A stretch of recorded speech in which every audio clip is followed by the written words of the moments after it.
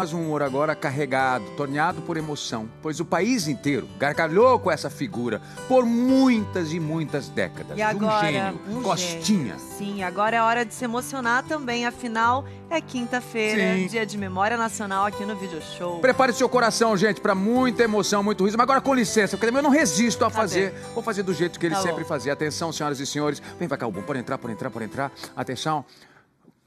Pá! Pá! Que delícia, né? Foi Segura o ótimo. coração. A brincadeira agora dá licença para a memória nacional. Ele é membro de um seleto grupo de artistas que fazem parte da comissão de frente do humor brasileiro. Hoje, o Memória Nacional é sobre Costinha. Costinha foi um humorista que nasceu pronto. Através de seu jeito carismático e expressões divertidas, a graça das piadas era multiplicada. Deixa ela passar lá em casa pra gente combinar, tá bem assim? Tá certo, pra jantar com seu gatinho? É lógico. Ou pela minha gatinha, qualquer sacrifício. Tchau. Tchau. Miau.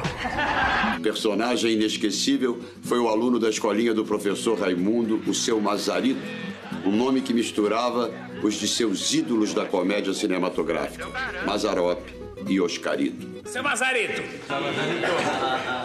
A, a moça entrou no dentista disse assim, eu não sei, eu, eu não sei, eu tô com uma dor de dente tão grande. Eu gostaria de saber, não sei, se a, a dor maior é a do dente ou a do parto. O dentista disse, bom, a senhora resolve que eu quero saber qual é a posição da cadeira, né? Costinha deu as caras nos Estados Anísios de Chico City, programa de 1991, colocando vários bordões na boca do povo. E... Acho, brincando. Figurinha obrigatória nos programas humorísticos das décadas de 80 e 90, frequentou o palco dos Trapalhões e escrachou junto com os grandes companheiros da comédia. Nós somos as defensoras da lei, não é só da lei. Ele também reforçou o programa A Festa é Nossa, onde cantava, dançava e, é claro, contava muitas piadas. Eu sempre gostei de uma boa piada. Só faço questão que não seja pesada. Sou homem decente, de todo respeito. Não sei por que falam que eu não tenho jeito. Bastava ele aparecer em cena que a piada fechava. Ai, meu capacete. No programa Humor Livre, tentou sem sucesso achar os óculos. Eu quero é ver os meus óculos. Cadê só os meus óculos? Vocês moram em Mato Grosso do Sul ou Mato Grosso do Norte? A senhora sabe que desde que nós mudamos pra lá, nós andamos tão ocupadas que não deu tempo ainda de perguntar. Depois que eu achar os meus óculos, eu vou conhecer Mato Grosso do Sul e dar uma voltinha pelo, pelo Pantanal. Pantanal, Rio Grande do Sul, Amazônia, enfim. O Brasil inteiro adorou ver Costinha como jurado do Chacrinha. Vamos receber o nosso amigo Costinha.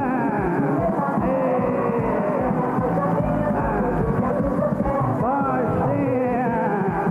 Essa fera, bicho, marcou presença em vários domingos comandados pelo Faustão. vem aí o professor Lírio Mário da Costa.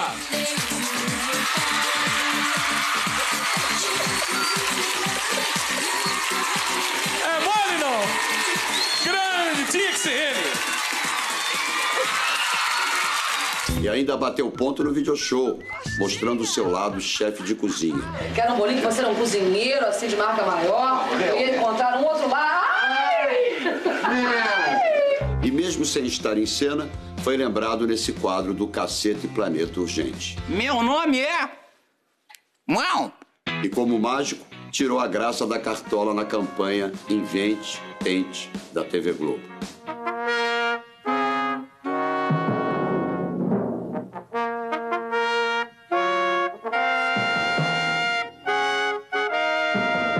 Invente, tente e faça um 92, diferente.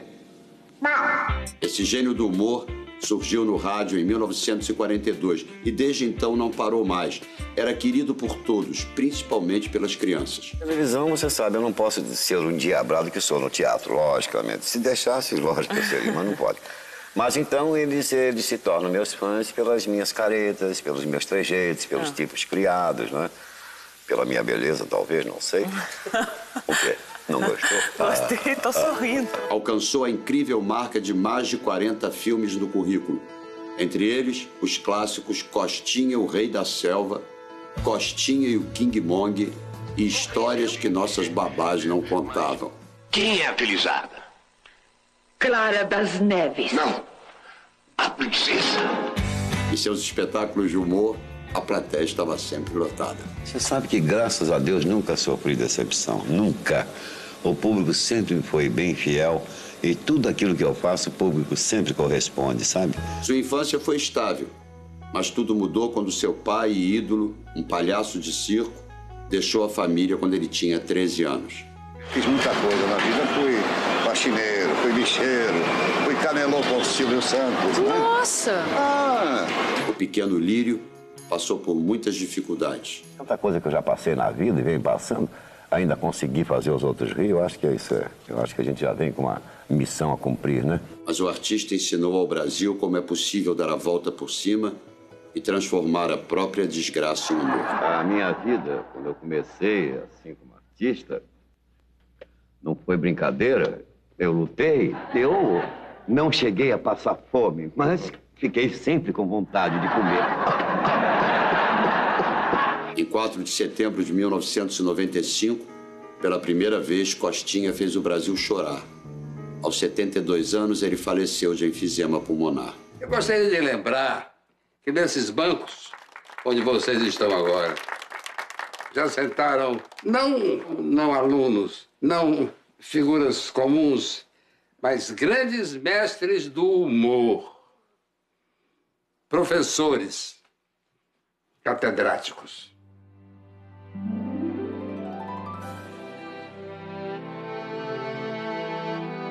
Sempre muito amado em cena, não era diferente quando estava em família. Os sete filhos concordavam. É um pai estrondoso, maravilhoso, tudo que você possa imaginar de bom, nós encontramos de fato nele. Os fãs agradecem pelas gargalhadas que lhes proporcionou um tal de Lírio Mário da Costa, vulgo Costinha, que com seu jeito único de fazer o povo sorrir, deixou marcado seu nome na nossa memória nacional. O senhor me desculpe, mas que está provocando.